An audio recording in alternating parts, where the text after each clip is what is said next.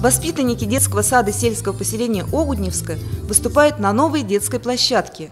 Игровые формы появились в поселке Клюквенный в рамках губернаторской программы «Наше Подмосковье». На торжественную церемонию открытия пришли местные жители, представители движения «Молодая гвардия», а также почетные гости.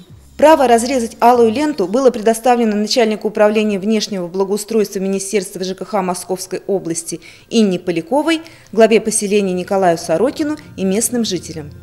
Поселок Клюквенный – бывший военный городок. После его передачи на баланс Огудневского поселению были выделены средства согласно губернаторской программе по приведению в порядок военных городков. Это позволило начать работы по проведению капитального ремонта домов, замене очистных сооружений, установке новых котлов в котельных и других. Удалось поселению войти и в областную программу по благоустройству. Мы обратились тоже э, в Министерство ЖКХ включить нас в программу благоустройства параллельно, раз мы капремонт сделали, дайте. И было решение принято на уровне область, областного правительства, что там, где военные годки наводится порядок, в принципе, и сделать решить вопросы благоустройства, то есть построить за счет областного бюджета детские площадки.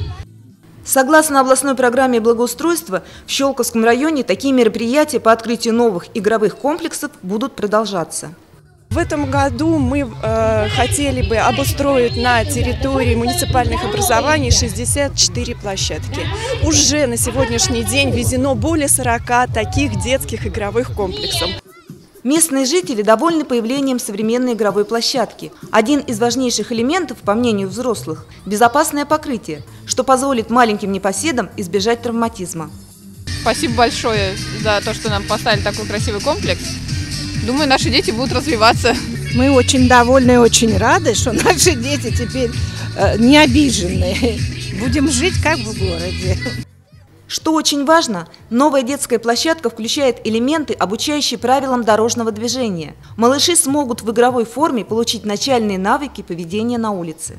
Ольга Аржанова, Сергей Максимов, телерадиокомпания «Щелково».